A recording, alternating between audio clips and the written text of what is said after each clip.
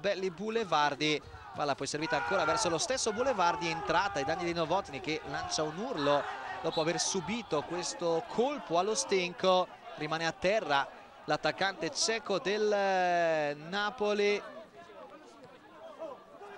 Andiamo a rivedere il eh, contatto fra Boulevardi e Novotny rimessa con le mani per il Pescara. Siamo oltre il quarto di recupero. Novotny è stato accompagnato a bordo campo per permettere al gioco di riprendere. Attenzione ancora a questa opportunità. Conclusione! E il Pescara trova il pareggio! Il Pescara trova il pareggio! Al quarto di recupero il gol del pareggio. 2 a 2 incredibile ad avversa il Pescara trova il pari con Carcalis quarto di recupero Carcalis fulmina Crispino 2 a 2 esplode nella sua gioia la panchina del Pescara. Carcalis trova il pareggio rivediamo il lancio di Boulevardi.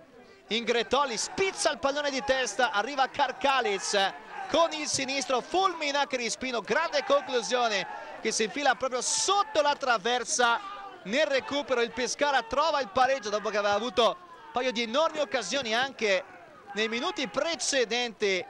Carcalis firma il 2 a 2 quando eravamo già oltre il quarto di recupero ma il recupero era stato aumentato per eh, l'infortunio di Novotny e l'arbitro credo abbia fischiato anche la fine del match Finisce la gara con il punteggio di 2 a 2 fra Napoli e Pescara. Carcalis trova il pari proprio allo scadere. Noi chiudiamo qui il collegamento in diretta da Versa. Ci risentiremo su Sport Italia 24 per le interviste ai due mister. Per ora è tutto, finisce 2 a 2 la gara fra Napoli e Pescara. Grazie e un saluto da parte di Matteo Gandini.